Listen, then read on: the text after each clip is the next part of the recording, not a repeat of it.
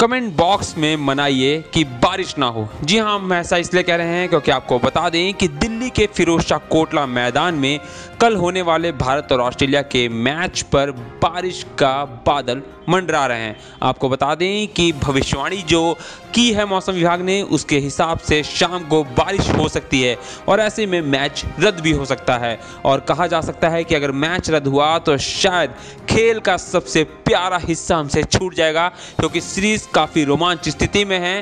पाँच मैचों की सीरीज़ में दोनों ही टीमें दो दो मैच जीत के कल सीरीज़ जीतने के लिए मैदान पे जंग लड़ेगी और ये जंग कितनी खास होगी, ये पिछले चारों मैच में हम देख चुके हैं। तो ऐसे में कहा जा सकता है कि जब दिल्ली में भारतीय और ऑस्ट्रेलिया की टीम आएगी तो उनके मैच पर जो बारिश का शाया है, बस वो ना पड़े, क्योंकि मैच में तो मज़ा आने वाला है और कहीं ना कहीं भारत दबाव में है, क्योंकि अगर वो सीरीज़ हारा, वर्ल्ड कप से पहले अपनी ही धरती पर सीरीज़ हारना शायद विराट को, विराट चिंता में डाल देगा। तो कमेंट बॉक्स में गॉड, प्लीज़ नो रेंड लिखना ना भूलें।